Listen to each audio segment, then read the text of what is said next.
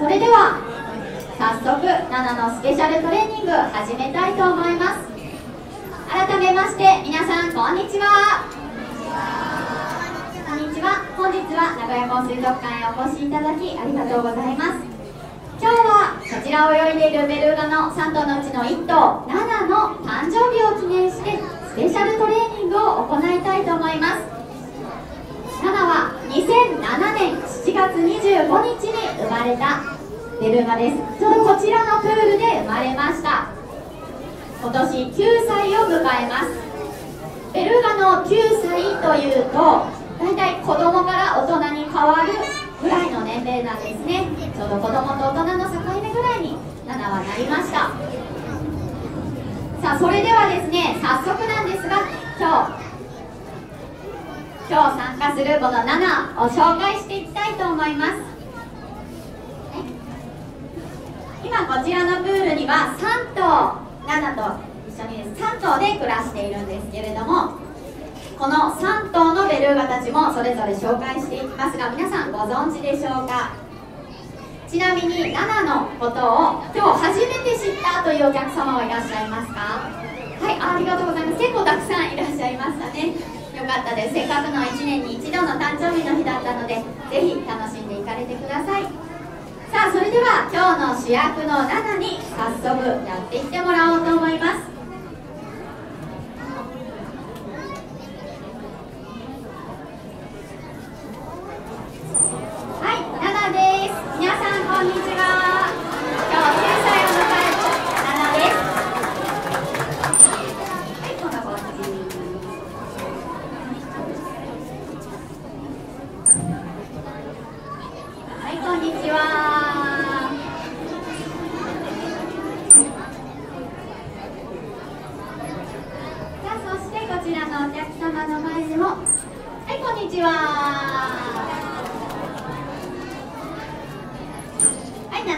と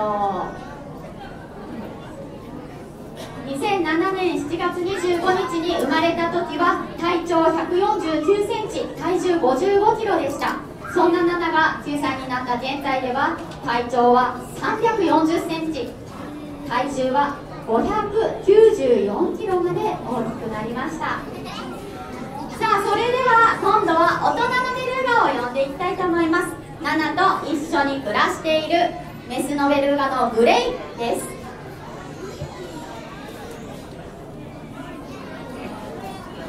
はいグレイの到着です。グレイはナナのお母さんではありません。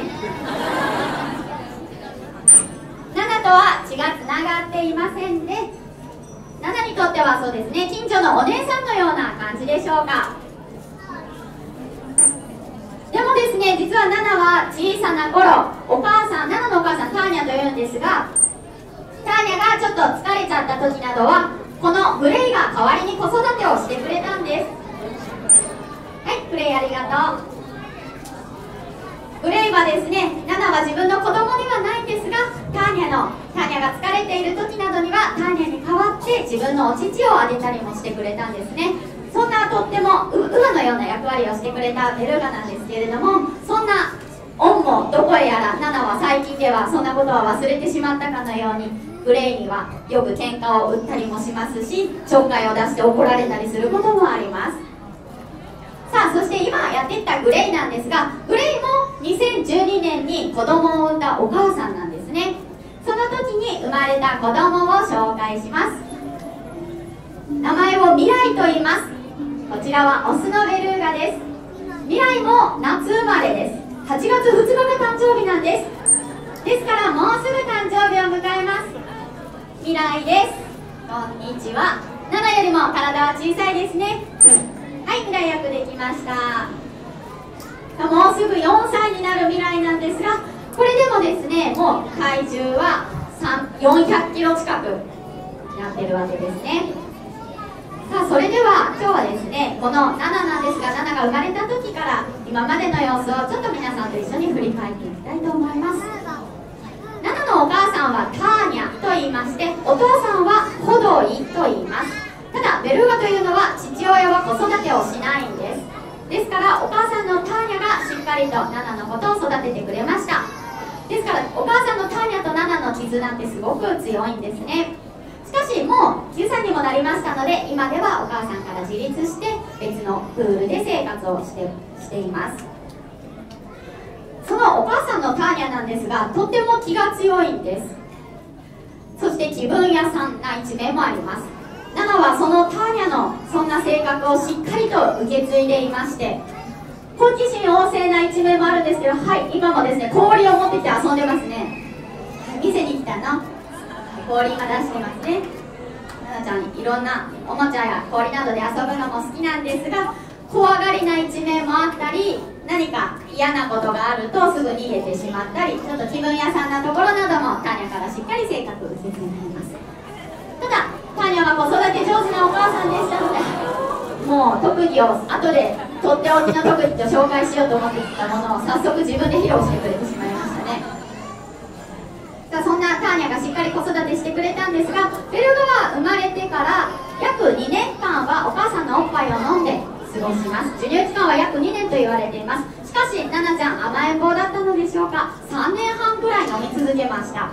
さらにですね3年半したらお母さんと別のプールで暮らし始めたんですけれどもそこからまた数ヶ月9ヶ月ほどしてまた同じプールで暮らすようになったらまた飲み始めたんですね。一回お乳を卒業したんですけれどもまた飲み始めてえーという感じでしたがなんとそれだけではなく8歳になった時にターニャとお母さんのターニャと同じプールに入れましたらターニャ同じプールで過ごすようにしましたらまた吸っていました。もうお乳は必要ないほど大きくなっていますし魚も1日に1 3キロも食べていますので、全然必要はないんですけれどもターニャとナナというのはそれだけ親子の絆というのも強かったんでしょうかね。授乳をするという行動がお互いに精神的に安心するコミュニケーションのような感じなのかなと思います。さあしかしですね先ほど大人のベルガのグレイと子供のナナや未来というのは体の色が違ったと思います。ベルガは生まれてくるとき濃い灰色をしていて成長するに従って徐々に白くなる動物なんですね。ナナは生まれた時はもっともっと濃い灰色をしていました。それが徐々に今白くなってきているところです。まだ真っ白になるには数年かかりそうですがだいぶ色が白っぽくなってきているのがわかるかと思います。さあそして9歳という年齢なんですけれどもこれ実はすごいことなんです。日本一なんです。何がかと言いますと水族で生まれたベルーガの中で最長飼育記録を更新しているところなんですね。はい、つまり水族館生まれの中で今一番長生きをしているということです。名古屋港水族館でも今までベルーガの出産というのは5回ありました。5頭生まれたんですが今まで元気に生きて成長しているのは2頭しかいません。それぐらい繁殖というのは難しいことなんです。赤ちゃんが無事に生まれて大きくなるというのはとっても難しいことなんですね。だからこそ9歳になる9歳になるまで順調に成長してくれたということが私たちはとっても嬉しく思います。とは言ってもこの9歳になるまで風邪一つひかず大きくなったかというとそうではなく時には体調を崩してぐったりしてしまったり餌が食べられないほど衰弱衰弱ではないですけれども風邪をひいてしまったこともありました。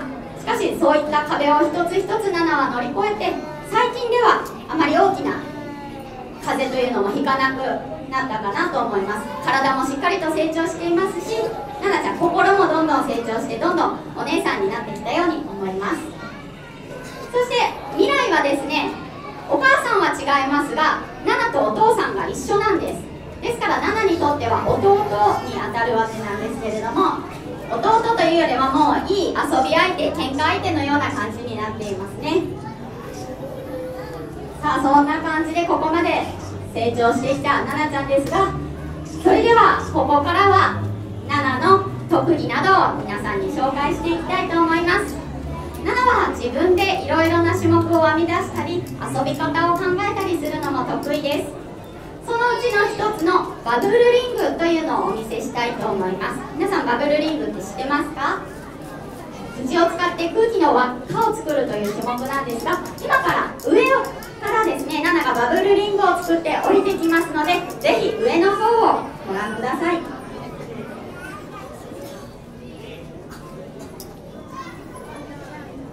はいやっていきますよ。よいしょ。どうでしょうか？今バブルリング自分で作って壊してしまいましたがとても綺麗なリングをリングを作っていますね。もう一回見せてもらいましょう。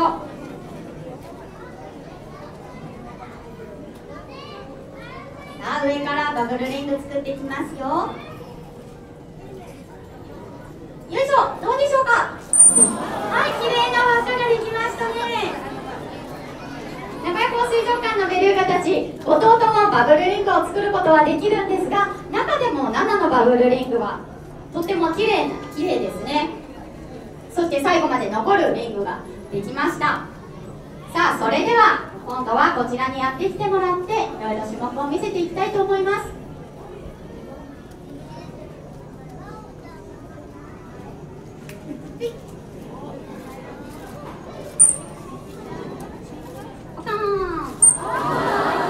まだですね歯がしっかりとは生えてないんですだいぶ生えてきてるんですが大人に比べるとまだ短い歯ですね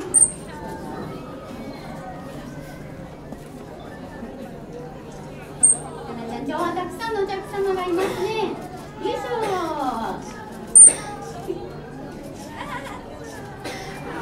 はい唇柔らかいの分かりますかちょっと不細工な顔になっていますけどね。大丈夫でしょうか。そして首の方もムチムチとしているのがわかるかと思います。もう体重600キロもありますから。はいできました？よいしょ、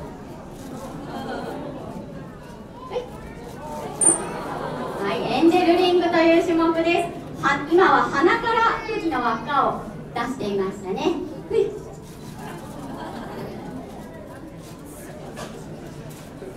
はい、ちょっとなんちゃ空気が少ないようです。一回呼吸をしに行ってもらいます。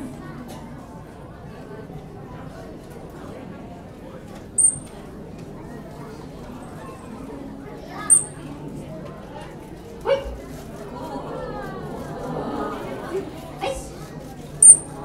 しっかりできました。じゃあ帰ります。さあ、芸達者のななちゃんの得意種目いかがでしたでしょうか？今日はですねせっかくの誕生日ということでもう一度ナナに来てもらって皆さんと一緒にナナに誕生日ソングをプレゼントしたいと思います。ハッピーバースデーの歌をぜひ私と一緒に歌ってください。それではナナちゃんこっちに行ってください。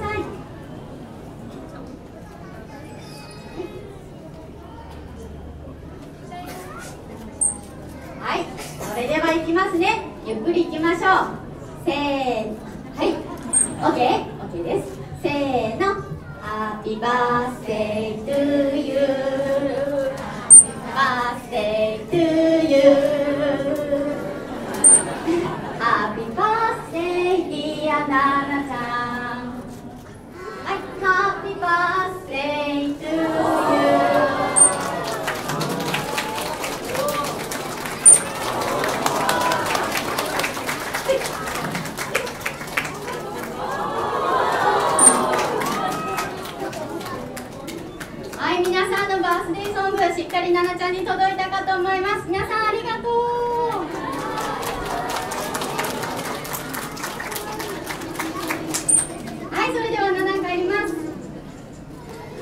皆さんありがとうございました。ななちゃんにもしっかりとお祝いの気持ち届いたかと思います。それでは以上をもちまして、ナナのスペシャルトレーニングは終了したいと思います。そしてこの後、ナナの誕生日を記念した缶バッジをプレゼントいたしますが申し訳ございませんが缶バッジのプレゼントは今こちらのロープ内にいらっしゃるお客様に限らせていただいておりますので、はい、申し訳ございませんがロープの外のお客様はすみませんハチを配る場所右手前方と左手後ろのあ後ろの候方2箇所となっておりますので近くのスタッフから受け取ってください。それでは皆さん本日はありがとうございました。